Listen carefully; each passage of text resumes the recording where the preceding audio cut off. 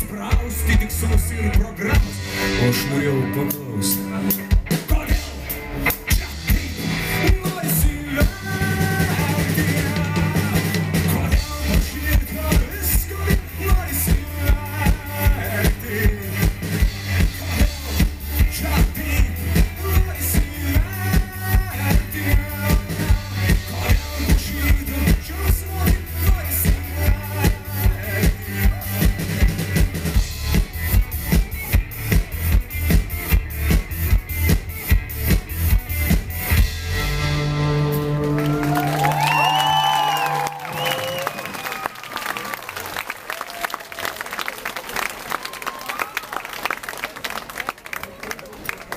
neseniai įvyko labai